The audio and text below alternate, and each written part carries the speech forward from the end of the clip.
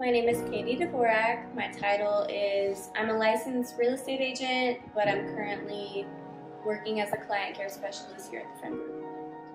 Well, my family has a few investment properties, so I've always been interested. And then I was uh, bartending for a long time. I met a bunch of realtors, and that motivated me more. And then I just fell into it. I met the Freund Group. I interviewed with a tons of different real estate companies in the Freund Group. Blew me away with how many times they mentioned family in the interview. So I love how family oriented they are because I have a, a daughter myself, and that's ultimately why I chose them.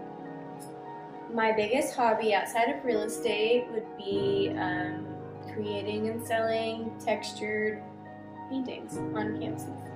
Something I would want my future clients to know about me would be that I'm also family oriented, so I know how much time is valuable and I want to make sure the process goes as smooth, comfortable, and quick because like I know time is, is very valuable and you want to spend that with your family.